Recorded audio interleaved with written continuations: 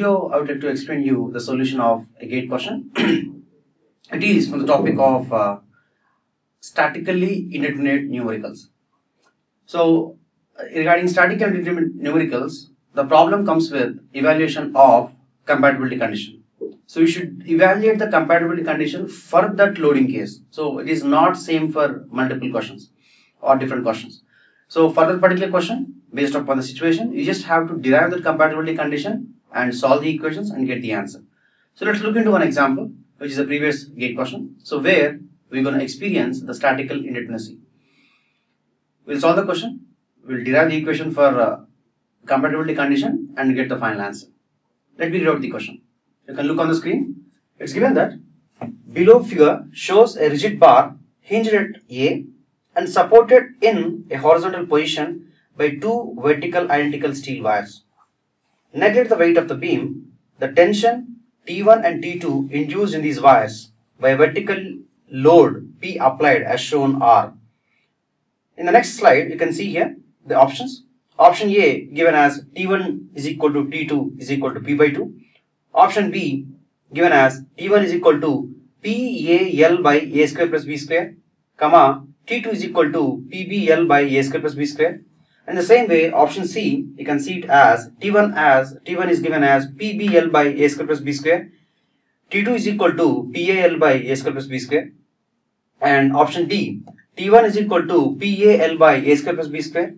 And option, uh, in the same option, T2 is given as PBL by 2 into A square plus B square. Let's take the free body diagram of this particular loading case and write down the equations of static equilibrium. The rigid bar is given like this. It is experiencing a tension of T2 here and here tension is given as T1. It is the edge or the corner point where we are experiencing reaction due to support. I am putting it as R. And at the center, we are experiencing load P. This dimension is given as L. This is also given as L. And this is given as A.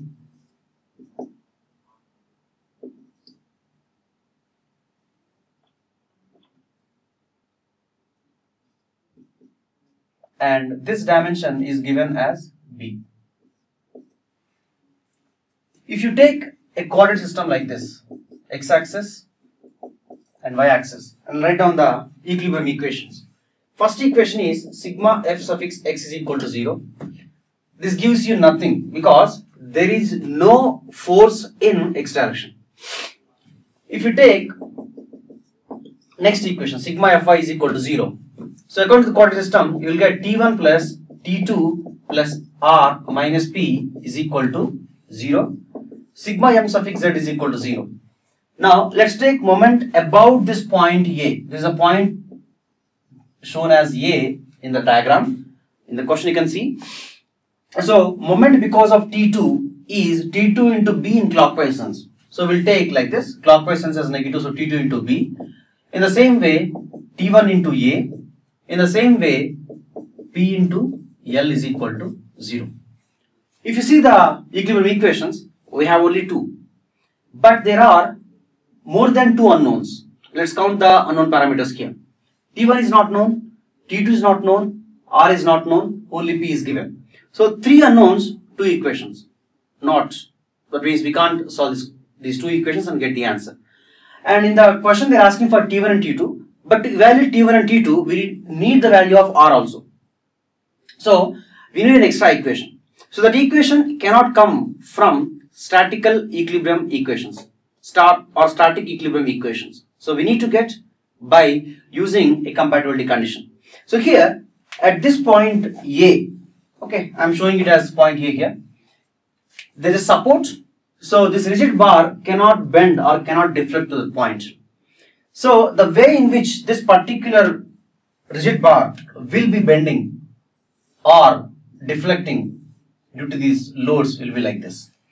So here your steel wire which is here will be experiencing deflection of delta 2 let's take it as delta 2 and this one that means other steel wire let's take the deflection as delta 1 okay? Now let's take this particular triangle. So the triangle is like this this is delta 2, this is delta 1. Let's take this angle as theta. And they have given us this particular dimension as B and this one as A. Okay. Now, if you see the question, they have given that T1 and T2 are on two identical steel wires. So identical in the sense they're having same area of cross section, same length, same material of course. They're saying it as steel, so both are same. Now let's take the elongation. So elongation delta 1 will be written as T1 L by area into Young's modulus where length is L is the length of the wire, area of projection of the wire, Young's modulus of the wire. In the same way delta 2 is T2L by area into Young's modulus. So from these two, because as both are same steel wires, length is same, area will remain same and Young's will remain same. From this we'll get delta 1 by delta 2 is equal to T1 by T2. But if you see here, if you take tan theta of these two triangles, so you have tan theta as delta 2 by B and delta 1 by A. So this implies delta 2 by delta 1 is equal to B by A. Here delta 1 by delta 2, so it is A by B. So we got three equations now. First equation, second equation, third equation. So you have three equations. Simply solve these three equations, you will get the answer for T1 and T2. So here, this is the compatibility equation. Equation number 3 is the compatibility equation. So based upon the condition here, compatibility condition here, we are deriving it. If you take the first two equations, those are static equilibrium equations.